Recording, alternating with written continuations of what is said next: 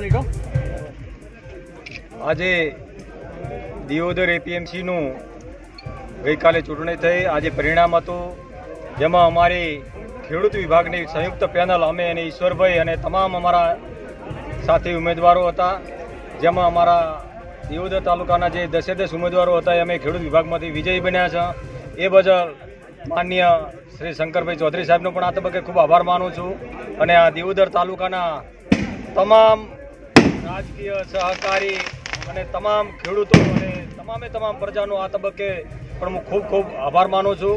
અને આ તબક્કે અમે સૌ સાથે મળી અને એપીએમસીનો વિકાસ વિકાસ કરશું અને ખેડૂતલક્ષી વધુ વધુ કામો કરશું એ પણ આ તબક્કે હું ખાતરી આપું છું.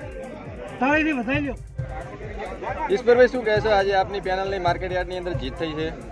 બનાસકાંઠાના દિયોદર તાલુકાની એપીએમસીની અમારી પેનલની જીત છે દિયોદર તાલુકાની પ્રજાની લાગણી, તમામ પ્રજાની લાગણી એવી હતી કે ઈશ્વરભાઈની પેનલ બે માર્કેટનો ઘણા ટાઈમથી પડેલો રૂંધાયેલો વિકાસ. વિકાસ થાય.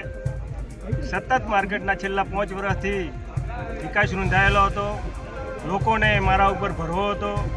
તમામ દિયોદર તાલુકાના, તમામ સમાજના, તમામ પક્ષના આગેવાનો સાથે રહી જે મને વિજય લાવ્યો એ બદલ અન્યનો આભાર.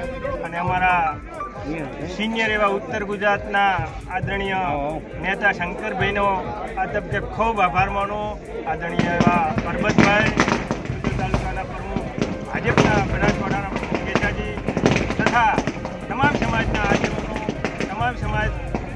સાથે રહીને મને જે ભવ્ય જીત અદાઈ એ બદલ તમામ સમાજના આગેવાનો અને દેવઉદરના વેપારી ખેડૂત તમામ પબ્લિકનો ખૂબ ખૂબ આભાર માનું આપની પ્રથમ પ્રાયોરિટી શું રહે છે? હવે અત્યારે નવા ચેરમેનમાં આપ બિરાજ છો બરાબર છે? માર્કેટ માટે આપ પહેલાં શું કરશો?